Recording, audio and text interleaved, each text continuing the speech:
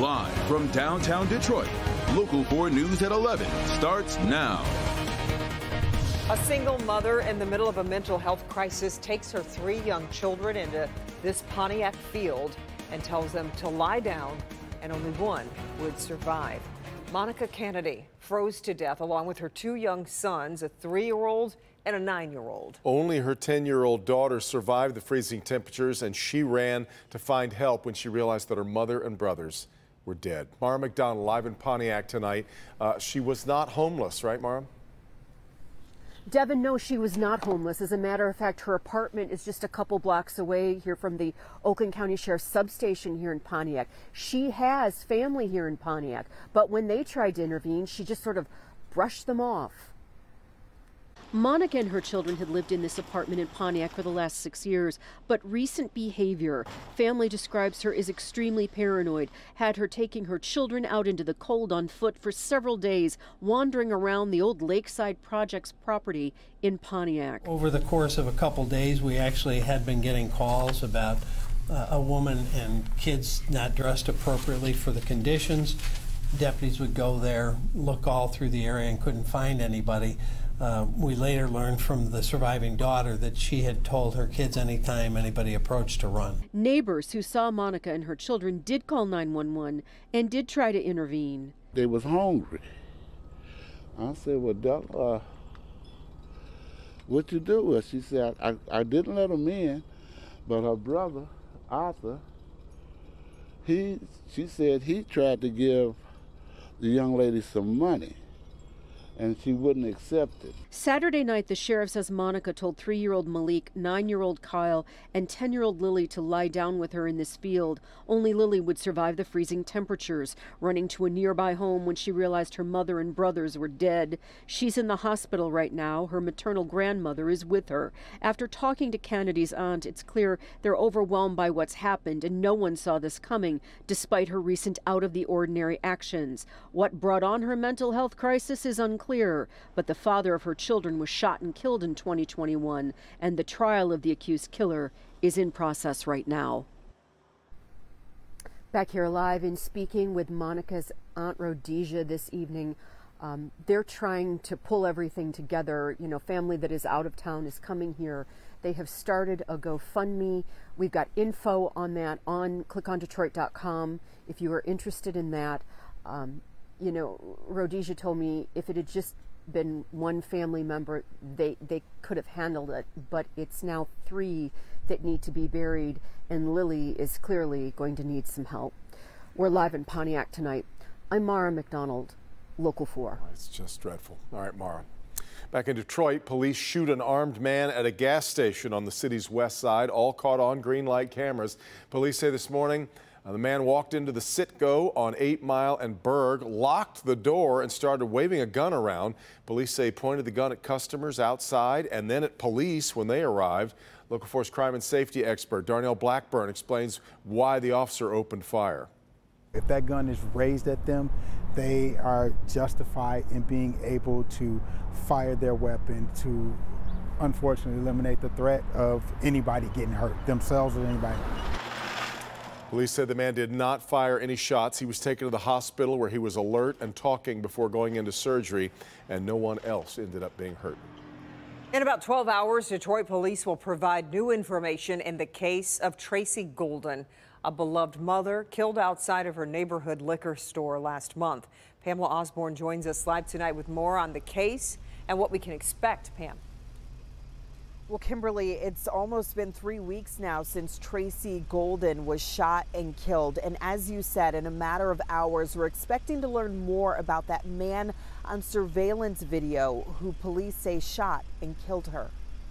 It was Wednesday, December 28th. Here's Tracy Golden walking out of a liquor store on Grand River Avenue near Outer Drive. It's 10:42 p.m. She stopped here for juice. As she exits the store and nears her SUV, you see a man in dark-colored clothing walk toward her from the other end of the parking lot. He pulls a gun, then shoots Tracy in the stomach. She's rushed to Sinai Grace, the very hospital where she worked as a respiratory therapist, saving lives. She died from her injuries. Since then, we take it day by day. The tragic loss of her dear friend Tracy called Laura Davis to activism in her honor. Put those guns down. This is senseless. We should love one another. Police say the man who shot Tracy took off in her gray Dodge Journey. The SUV was recovered a day after her death at the scene of an armed robbery at the Family Dollar store on East 7 Mile. Police releasing this image of a person of interest in that crime. So, who is that man in that surveillance image from that dollar store robbery? Um, is he the same person who shot Tracy and took her SUV. And where is he now? Those are just some of the few questions we hope to have answered tomorrow. Reporting live outside of DPD headquarters, I'm Pamela Osborne, Local 4. And we will certainly be following it. Pam, thank you. All right, time now for a check of the forecast. Is it? Uh, it's a rainy night across Metro Detroit here. Uh, pretty mild. That's why it's all uh, green behind uh, Kim right now. Let's get over to our forewarned meteorologist Kim Adams with where things stand. Kim. Well, it is all green, but I have to tell you, it is a cold rain because we still have temperatures in the 30s. Now, we're above freezing. We're above what we should be for an afternoon high. Our high temperature should be 32. Right now, temps are in the mid to upper 30s, but it's definitely uh, raining on the east side, a little heavier than it is on the west side. Let's zoom in a bit closer here using our Exact Track 40 radar. Rain in Richmond down to Macomb, Sterling Heights, and Warren, Hamtramck also getting some rain. And the downriver areas, including the city of Detroit, Ecorse getting a few showers, Dearborn, Melvindale, all raining. We'll continue to have a few light scattered rain showers throughout the evening, but nothing really heavy. In fact, it's dry now in Farmington Hills, but raining in Hartland and Salem. Northville getting a few light sprinkles at this hour, but again, it's just that very cold, damp air. Tomorrow we'll have mostly cloudy skies and another chance for just very light rain in the afternoon, but notice the temps. 46 degrees by 4 o'clock. If you want to keep up to date on the rain, when it's coming, when it's going in your neighborhood, the best way to do it is download our 4Warn Weather app. Just go to your favorite app store, type in WDIV, and download the free 4Warn Weather app. Today is a day of service in honor of Martin Luther King Jr. Metro Detroiters took time to honor the legacy of Dr. King. In Southfield, they held their annual Peace Walk this morning, originating from Hope United Methodist Church. The walk kicked off at the church, making its way toward the Southfield Pavilion. The event returned after two years off due to the pandemic. In Detroit, MLK Day Committee called for a citywide mobilization to recognize the civil rights hero. There was a rally, a march, and a meal this afternoon at the St. Matthew's St. Joseph Episcopal Church on Detroit's west side. Today's speakers, part of social movements that took place across the country.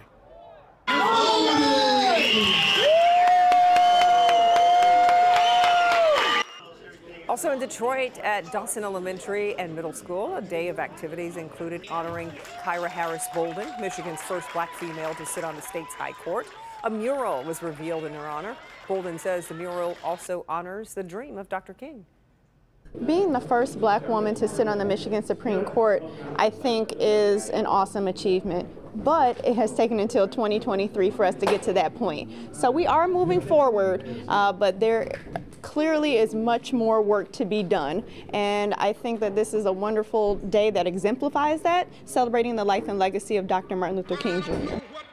Dr. King's widow, Coretta Scott King, and musician Stevie Wonder fought for years to, sell, to create the federal holiday. Now it falls on the third Monday in January each year. Could be more searches ahead for classified documents at locations connected to President Biden. About 20 classified documents were found after searches of a private office in Washington, D.C. and his two homes in Delaware. White House attorneys say there are no visitors logs that track guests who visit President Biden's Wilmington, Delaware home. Sources say more searches are possible, but it's not clear who would conduct them nor where they would take place. President Biden has used other office spaces and his family had rented another home in Northern Virginia.